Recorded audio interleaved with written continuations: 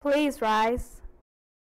I pledge allegiance to the flag of the United States of America and to the republic for which it stands, one nation, under God, indivisible, with liberty and justice for all. Good morning, hot dogs. Welcome back to your morning announcements. I'm Richard. And I'm Emily. Stay tuned for weather, sports, and more information. But for now, weather with Alyssa. Thanks, Richard. Today for weather, it'll be a high of 85 and a low of 67. It is now 69 degrees, and around lunchtime, it'll be 76 degrees. After school, it'll be mostly sunny and 83, although it will feel like 87. That's all the weather for today. Now back with Richard. Thanks, Alyssa. For lunch today, in lines 1 and 2, we'll have pizza sticks. Line 3, soup and salad bar. Line 4, taco snack. Line 5, we'll have Big Daddy pizza. We'll send you now to sports with Nick. Thanks, Richard.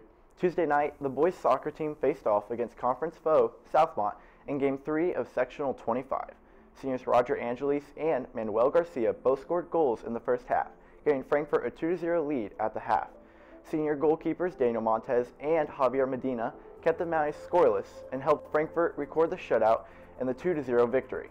Frankfort had solid play from every position in the sectional win. Their next match is tonight, as they will be taking on Lebanon at 7.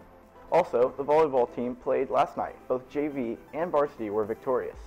Don't forget to check out the live stream that we recorded on YouTube, and also a special thank you to the crew. That's it for sports. Now back to the studio with Emily. Thanks, Nick. There are no birthdays today, but on another note, all 10th and 11th grade students who signed up will take the PSAT exam on Wednesday, October 10th, and will be reporting directly to, the, to their testing room at 7.30 and need to bring a calculator. Cell phones will be collected if brought into the testing room.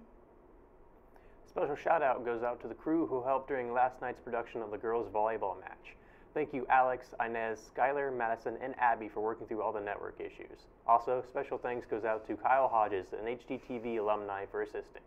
Anyone interested in watching can visit the link in the description below. Don't forget that today during community, there's a Key Club meeting in room 207, and on Friday, make sure to go to the library if you're interested in being in the Battle of the Books. The meeting is Friday at 7:45 a.m.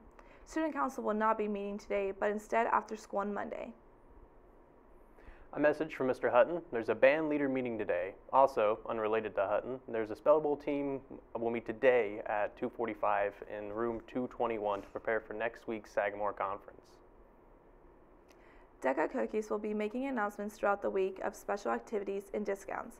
Follow Frankfort DECA on Instagram or Twitter to be the first to learn of specials and important announcements. Also, members attending DECA Central Region have their payments, their final payment is due today. Frankfort Travel Club will be meeting today during community. If you have signed up for Panama, Germany, Switzerland, please sign up, uh, or sorry, please go to Miss Menendez's room for a fundraising opportunity. If you have not signed up and want to learn more, uh, please see Miss Woodard in room 139. Also, I've been told to show you this fancy dancy record here. If you want to learn more, stop by the studio. Have a great day. Be sure to like and subscribe.